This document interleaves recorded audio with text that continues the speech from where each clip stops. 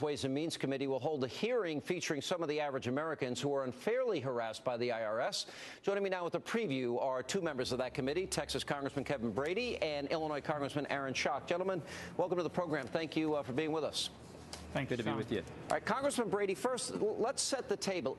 Do you see this as a political enemies list, sir? You know, I do. Uh, in fact, the matter is, the new acting commissioner had an opportunity today to actually shed light to tell the truth about where these abuses of the IRS have been, who initiated, how broad and wide and deep it is. Was this personal information shared with other agencies which harass Tea Parties in my uh, region? Uh, but I think he's choosing to try to douse the flames rather than get the truth. Tomorrow's hearing is about hearing from the victims of these abuses. I think they'll help shed light on this whole investigation.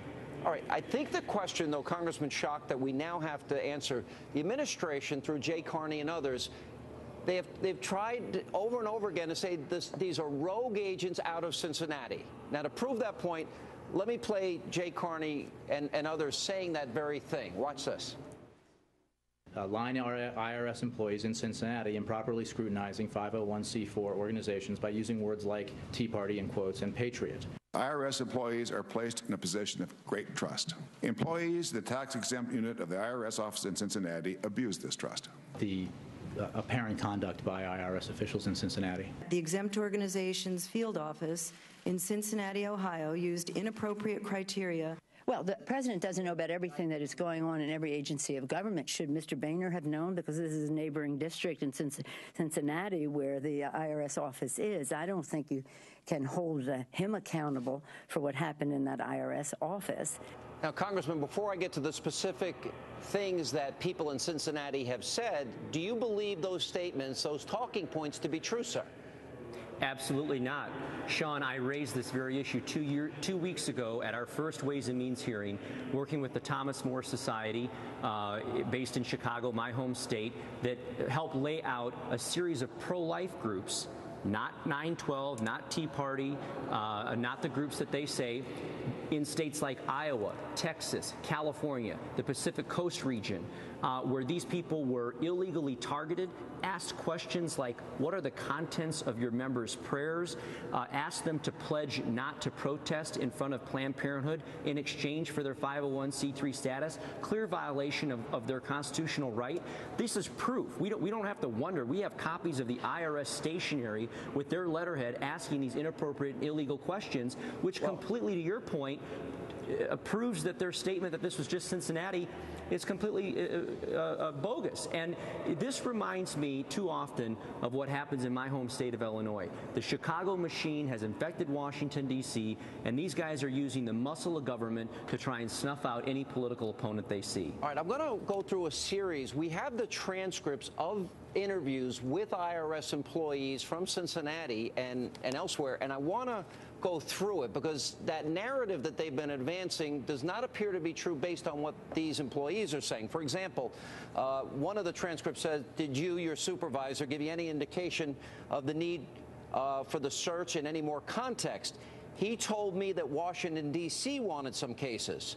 Next one, another interview with an IRS em employee. So as of uh, April 2010, these 40 cases were held at the moment in your group. Is that right? Some were. How many were held? Less than 40. Some went to Washington, D.C.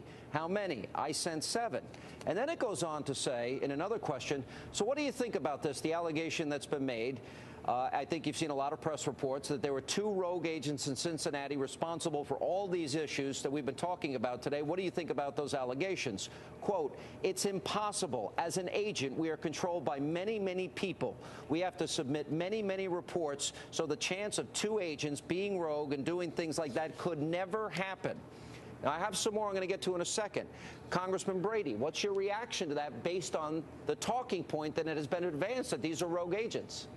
At the very first step of this investigation, which is going to be very thorough, very complete, the very first step, IRS workers themselves just rejected the whole White House uh, line of spin on this issue. Of course, they didn't embark on a very controversial, probably illegal uh, targeting and leaking of private and personal taxpayer information without uh, direction from up above. How far that goes, how broad that goes, we're going to get the truth. But think of this this happened in the very first step. I think as we go through all the abuses on the targeting of donors and organizations, the leaking of private information to media, liberal groups, and maybe to campaigns, I think we're. I mm-hmm. think this is the first step. All right, Congressman Schock, let's go through two more portions of IRS employees answering questions. Uh, number one, question. And you've heard, I'm sure, news reports about individuals in Washington saying that the problem was originated in and contained in the Cincinnati office and that it was the Cincinnati office that was at fault. What is your reaction? Answer.